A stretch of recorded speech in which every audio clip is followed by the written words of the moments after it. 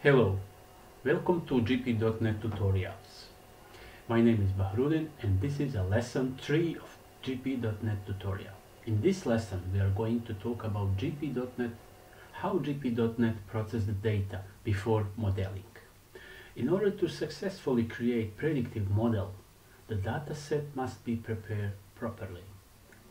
In this lesson we are going to talk about what is data preprocessing, what type of data GPdotNET supports, and GPdotNET import tool, as well as data preparation before model creation.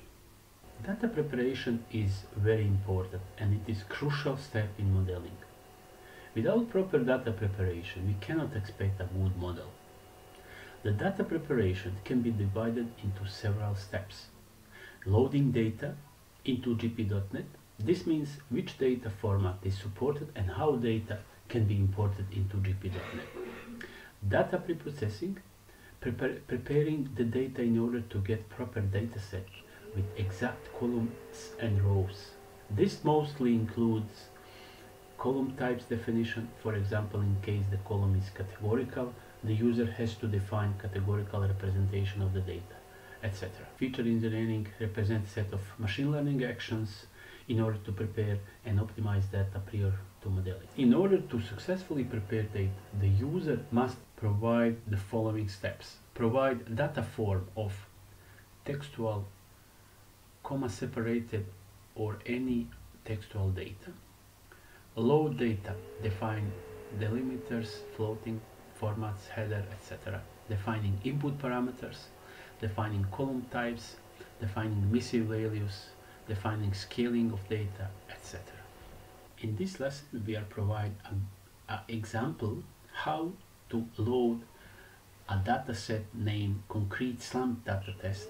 So let's go to this dataset and download the dataset. Now, once we reach the, the website, we go to data folder and press slump test dot data. This is a content of the file which we can we can save it at the desktop. Once we get the data, we can open the GPdotNET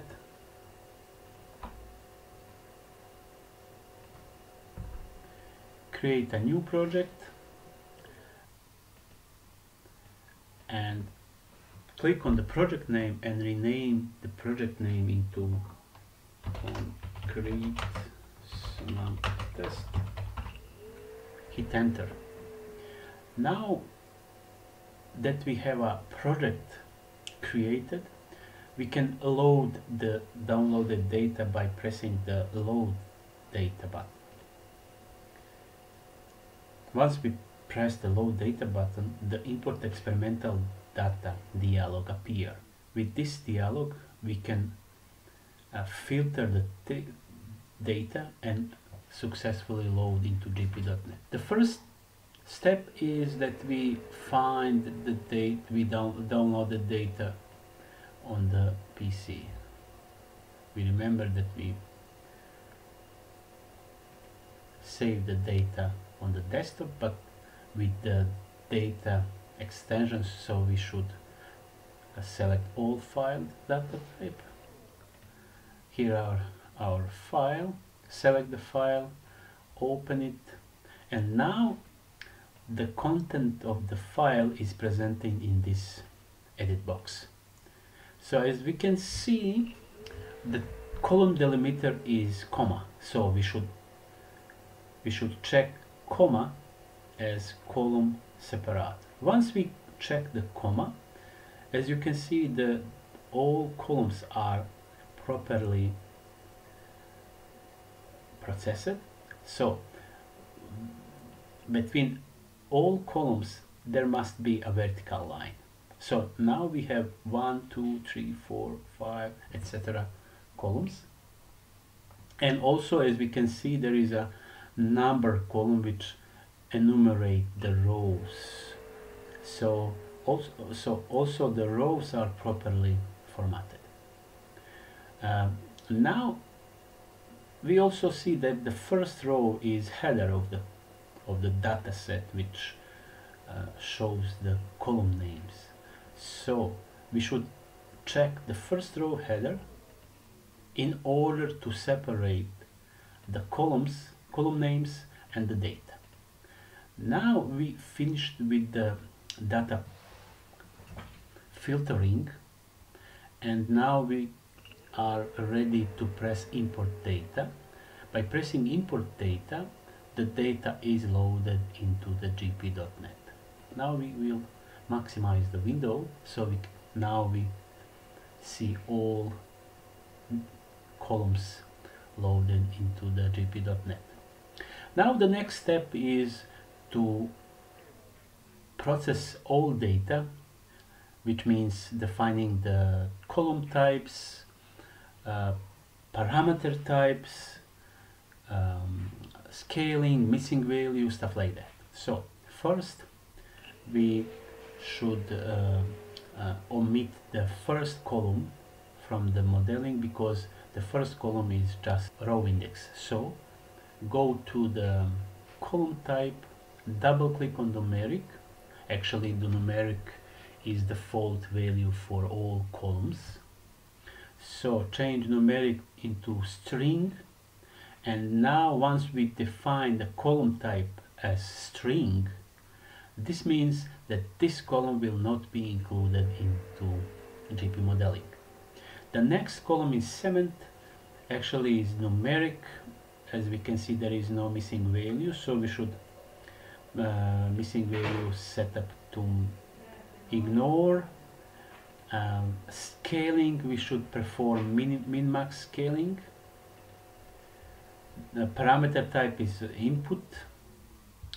And um, category encoding is known because this is not a category column. Now the next column is slag. Also we should um, ignore the missing value because there is no missing values. Data scaling is min max input parameter etc um, this is the same for all columns actually actually the slump column is our output column and the, the two columns after slump will be ignored. So for flow and compressive strength we should set a string column type. This means that the, the last two columns will not be included as well. Um, slump column should be uh, of numeric type with uh, non-encoding and with the parameter type output. So we should double click on the input and select output item from the combo box. Now the process of defining all columns is finished. Now it's left that we define the um, test data set since we have uh, around uh, 103 column uh, rows we should define something like 50 columns 50 rows for testing. And also we can um, during the model creation we can uh, randomize the data set in order uh, for better performance but for this model we should we should um, we should skip that. So now it's it's time that we define our first model. Our first model is created by pressing the new model button. Now we have a first model. Click on the model once again and now we can write for example gp01 model and say GP model of concrete slump. Hit enter.